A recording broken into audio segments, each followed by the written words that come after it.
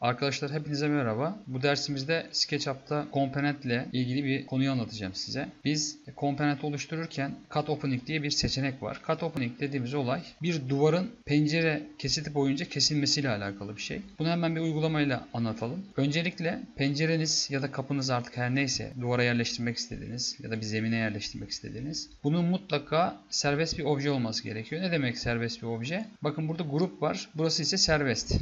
Bu şekilde seçilebiliyor tek tek yüzeyleri. Ama bu seçtiğinizde direkt grup ya da komponent. İşte bunun olmaması gerekiyor. Bunun çalışabilmesi için cut opening'in. Ve burayı patlatıyorum.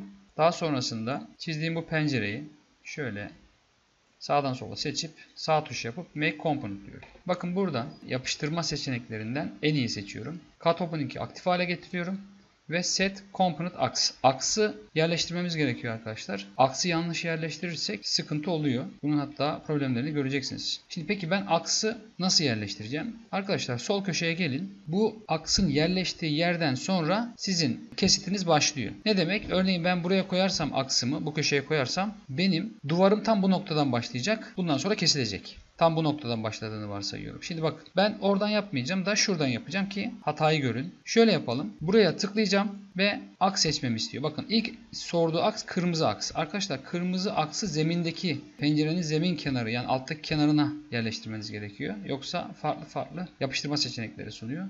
Buraya tıkladım. Kırmızıyı seçtim. Daha sonrasında yeşili yerleştirmemi istiyor benden. Ve yeşili de bu kenara yerleştiriyorum. Mavi aks da şu şekilde olacaktır yerleştirdim ve her şeyi seçtikten sonra bunlar önemli arkadaşlar. Burası eni olacak. Burası Catominik aktif ve create dediğimde bakın sağ alt tarafta şurada komponentler var. Buraya ulaşmak için yine belirtelim. Default tray'den komponentler kısmını aktif ederseniz bunu göreceksiniz. Bakın bizim komponentimiz buraya geldi. Ve buradan bunu alabilirim. Direkt buradan alıp yapamazsınız arkadaşlar. Yani şöyle alıp da buraya koyayım dediğinizde olmayacaktır. Bunu yapmanız için buradan almanız gerekiyor. Ve Gördüğünüz gibi şöyle tıkladığımda duvarı kesecektir. Peki hocam şuraya getirdiğinizde kesecek mi sağdakine? Dikkat edin yine buradan aldım. Komponent kısmından alıyorum şu kısımdan. Ve buraya geldim. Ancak burada kesmedi. Sebep ne? Arkadaşlar duvarınız grup ya da komponent olmayacak. Yani pencereniz nereye yerleşecekse grup ya da komponent olmaması gerekiyor. Serbest bir obje olması lazım. O yüzden bunu siz e, exploit etmeniz gerekiyor. Ondan sonra artık işe yarayacaktır. Bakın tekrar bu tarafa doğru patlattıktan sonra yüzey bakın seçiliyor şöyle. Buradan direkt yaparsanız herhangi bir problem yaşamayacaksınız. Bakın burada kestim. Mesela ne yapabilirim? Ben bunu buradan move aracıyla kontrole basarak kopyaladığımda da yine aynı işlemi görecektir. Mesela silebilirim. Pencereye tıklayıp sildiğimde orası bozulmadan kalacaktır. Duvarımız bozulmadan kalır. Şöyle silebilirim. Taşıyabiliriz dedik. Silebiliriz dedik. Yine bakın az önceki yapıştırma seçeneklerinden en iyi seçmemizin sebebi bakın hem zemine keser. Yerleşir ve keser. Zeminde de aslında kesme işlemi yaptı. Bu grup olduğu için bunda işe yaramayacaktır. Bunu silelim. Bir tane zemin çizelim. Ve bunu buradan buraya alalım. Bakın zemini ne yaptı? Otomatik kesti. Yine eğimli yüzeylere gelebiliyor arkadaşlar. Bakın şöyle yaptığımda eğimli yüzeyde kesmiş oldu. Burada da taşıma işlemlerini yaptığınızda aynı etkiyi göreceksiniz. Şuna dikkat edelim. Az önce biz ne yapmıştık? Aksımızı şu kısma taşımıştık. Yani aksı buradan verdik. Burayı kırmızı, burayı yeşil dedik. Ve bizim penceremiz dışarıda kaldı fark ettiyseniz. Yani çerçeve dışarıda kaldı. İşte bu bir hata. Biz bu hatayı gidermek için arkadaşlar tekrar bunu patlatıp explode edip sağ tuş make component deyip en dersem cut opening'i de aktif ediyorum. Set dediğimde bakın ne yapmam lazım? Pencerem dışarıda kalmış. Yani duvar buradan başlamıştı. Ben duvarın buradan başlamasını istiyorum. O halde tam sınırdan başlaması için buranın alt kısmın kırmızı, dikey kısmın ise yeşil olmasını istiyorum. Ve create dedim. Şimdi yeni penceremiz oluştu. Şu arkadaşı silersek purge yapabiliriz. Purge dedik ve yenisi bu. Tıklıyorum. Bakın şimdi nereye yerleşti? Sıfıra sıfır yerleşti. Görüyorsunuz.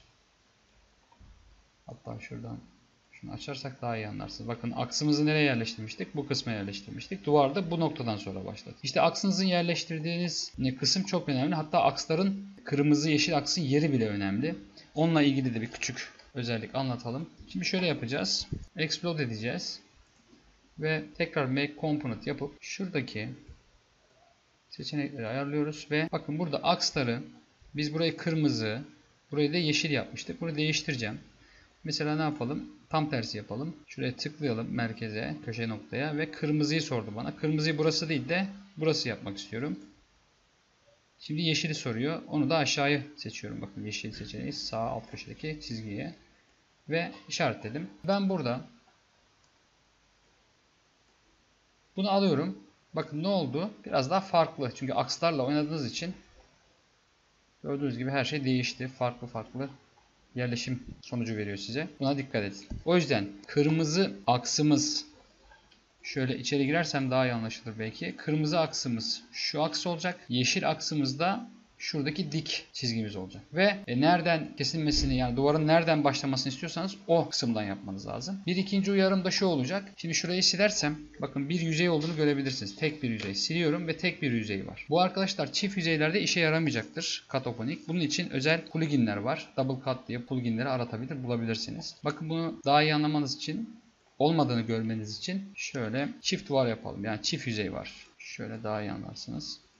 Evet burada ne var şu an? Çift yüzey. Bir tane yüzey burada var. Bir tane yüzey de burada var. Siz bunu kalkıp buraya getirirseniz arkadaşlar bak ön yüzü açtı ama arka yüz yani şuradaki yüzü kesemedi. Ben bunu silebilirim. Şöyle sildim. Açılmış olur. İşte çift yüzeylerde bu işe yaramıyor. Tek yüzey olacak ve explode edilmiş. Yani bir grup haline gelmeyecek arkadaşlar. Ha siz grup şöyle yaparsınız. Duvarınızı grup yaparsınız. Pencerenizi içeride aktarırsınız. Mesela şöyle yapalım şurada. Make grup yapalım ve grubun içine girelim. İçine girdikten sonra şu şekilde yerleştirebilirsiniz. Onda problem yok. Gördüğünüz gibi buradan alıp buraya bıraktığımda kesecek. Hani direkt grubun üzerine işe yaramaz. Onu söyleyeyim size. Mutlaka serbest geometri üzerine atmalısınız. Pencereleriniz ya da kapılarınız artık obje neyse. Benim burada anlatacaklarım bu kadar arkadaşlar. Bir dahaki derse görüşmek üzere. Kendinize iyi bakın.